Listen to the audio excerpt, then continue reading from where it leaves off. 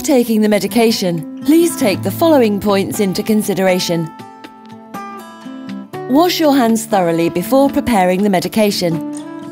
If the medication is in the fridge, take it out five minutes beforehand to allow it to reach room temperature. Try to take the medication at around the same time of the day, choosing a different area of the abdomen each day to avoid irritation. Around the injection site, you may experience a local reaction and one or more of the following symptoms may appear. Redness, pain, swelling, irritation or bruising. These are normal and disappear after a few hours. Once you have finished, place the remaining items in a suitable container or bring them to your nearest IVI clinic. Find a quiet place and get the materials you need for the injection ready, placing them on a clean surface. Fostipur comes in the following presentations. Fostipur 150 international units, 10 doses and 1 dose. Fostipur 75 international units, 10 doses and 1 dose.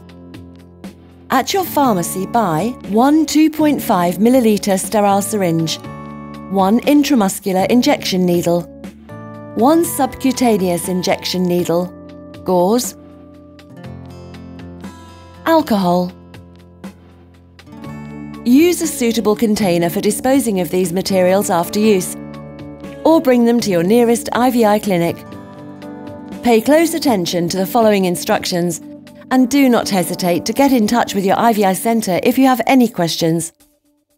Open the box Take out one vial of powder and one ampule of solvent. Take the orange plastic cap off the vial of powder. Take the ampule of solvent and tap the top end gently to make all of the liquid fall to the bottom. Hold the ampule with the red tip pointing towards you. Cover it with gauze to avoid cutting yourself and break it open. Open the wrapping of the large needle without taking it out. Fit it onto the syringe and remove the cover along with the wrapping. Insert the needle into the ampule of solvent and extract all of the contents by pulling back the plunger. Place the vial of powder on the table.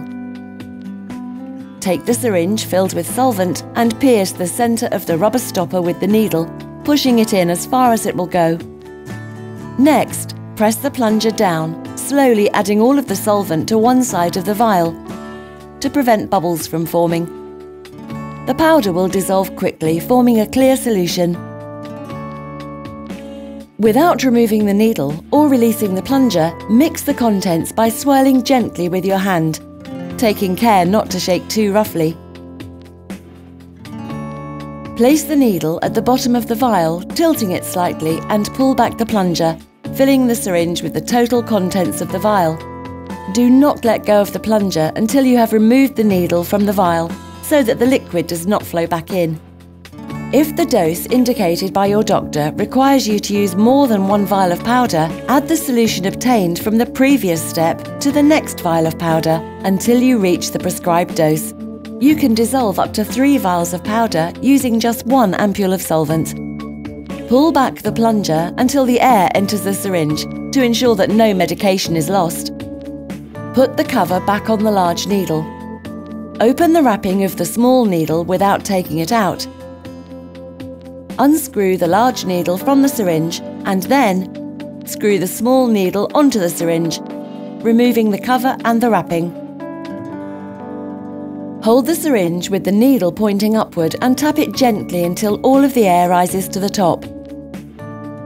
Press the plunger slowly until the air has been removed. Take some gauze soaked in alcohol and thoroughly clean an area of your abdomen below the level of your navel.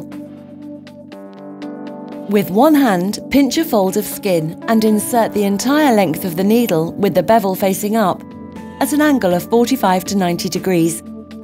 Depress the plunger slowly and steadily as far as it will go. Next, let go of your skin and pull the needle out gently. Press down on the area for a couple of seconds with the gauze, while massaging it lightly so the solution disperses under the skin. Finally, put the cover back on the small needle and unscrew it. Dispose of it along with the syringe, the large needle, the ampule, and the empty vial in a suitable container, or bring it to your nearest IVI clinic. To store the medication correctly, please heed the following advice. Keep it in its original packaging to protect it from the light until use. Store at room temperature and not above 25 degrees centigrade. The medication must be used as soon as it has been prepared.